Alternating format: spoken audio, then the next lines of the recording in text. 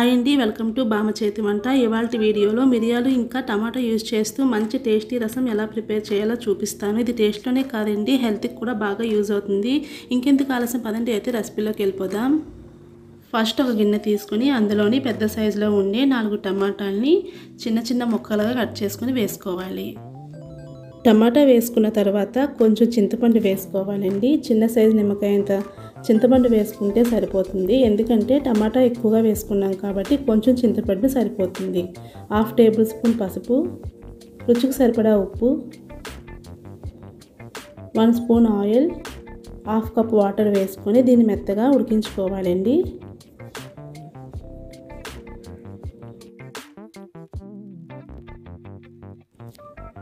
రసం పౌడర్ ఎలా చేయాలో చూపిస్తానండి. ఒక కళాయి పెట్టుకొని అందులో వన్ స్పూన్ శనగపప్పు వన్ స్పూన్ మినప్పప్పు వన్ స్పూన్ ధనియాలు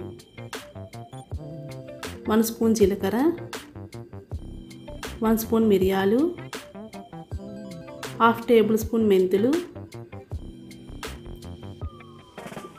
హాఫ్ టేబుల్ స్పూన్ నువ్వులు చిన్న ఇంచు దాల్చిన చెక్క వన్ స్పూన్ ఎండు కొబ్బరి మూడు ఎండుమిరపకాయలు వేసుకొని వీటిని అన్నిటినీ కూడా త్వరగా ఒక ఐదు నిమిషాల పాటు లో ఫ్లేమ్లో పెట్టుకొని వేయించుకుంటే సరిపోతుంది. లైట్గా వేయించుకుంటే సరిపోతుందండి. ఇవి లైట్గా ఫ్రై అయిన తర్వాత పక్కన ఉంచుకొని చల్లారిన తర్వాత మిక్సీ జార్లో వీటిని వేసుకొని మెత్తని పొడి అయ్యేంత వరకు గ్రైండ్ చేసుకోవాలి.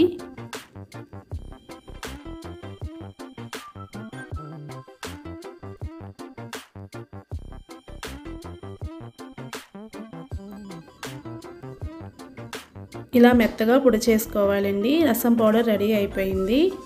ఉడికించుకున్న టమాటాలని బాగా మెదుపుకోవాలి.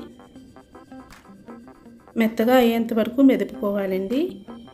ఇలా మెదుపుకున్న తర్వాత దీన్ని పక్కన ఉంచుకోవాలండి. స్టవ్ మీద ఒక గిన్నె పెట్టుకొని త్రీ స్పూన్స్ ఆయిల్ వేసుకోవాలి. ఆయిల్ హీట్ అయిన తర్వాత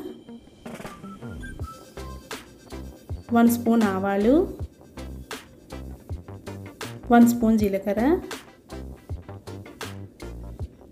హాఫ్ టేబుల్ స్పూన్ ఇంగువ వేసుకొని వేయించుకోవాలి. ఒక నాలుగు నుంచి ఐదు వరకు వెల్లుల్లిపాయలు దంచుకొని వేసుకోవాలండి.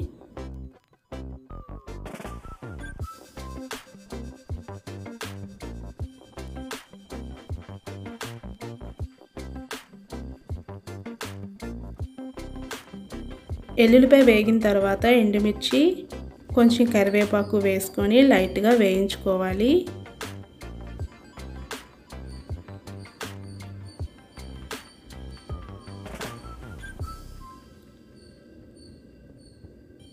ఇవి బాగా వేగిన తర్వాత కట్ చేసుకున్న ఉల్లిపాయ ముక్కలు కొంచెం పచ్చిమిర్చి ఒక మూడు నాలుగు అయితే సరిపోతాయండి.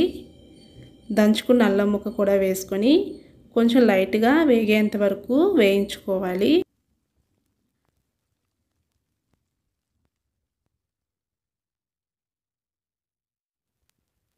ఇవి వేగిన తర్వాత మెదుపుకొని ఉంచుకున్న టమాటా మిశ్రమాన్ని ఇందులో వేసుకొని ఒక నాలుగైదు గ్లాసులు వాటర్ వేసుకొని బాగా కలుపుకోవాలి.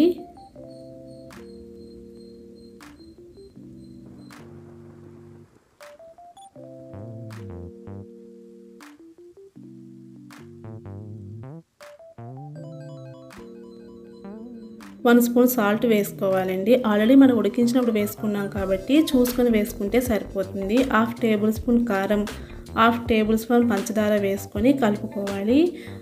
పంచదార వేసుకోవడం వల్ల చాలా టేస్టీగా ఉంటుందండి.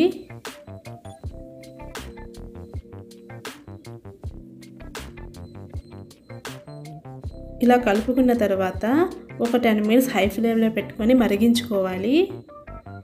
ఇలా మరిగిన తర్వాత మనం ప్రిపేర్ చేసుకుని ఉంచుకున్నాం కదండి రసం పౌడర్ని ఇందులో వేసుకొని బాగా కలుపుకొని ఒక ఫైవ్ మినిట్స్లో ఫ్లేమ్లో పెట్టుకొని మరిగించుకోవాలి.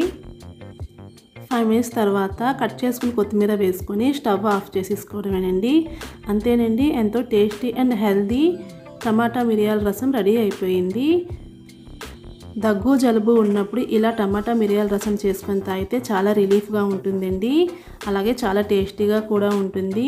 మీరు ఒకసారి ట్రై చేసి చూడండి. మీరు ట్రై చేసిన తర్వాత మీకు ఎలా కుదిరిందో నాకు కింద కామెంట్లో తెలియజేయండి. అలాగే ఈ వీడియో మీకు నచ్చినట్లయితే లైక్ చేయండి. ఈ వీడియో ఎవరికైనా యూజ్ అవుతుంది అనుకుంటే మీ ఫ్రెండ్స్ అండ్ ఫ్యామిలీకి షేర్ చేయండి.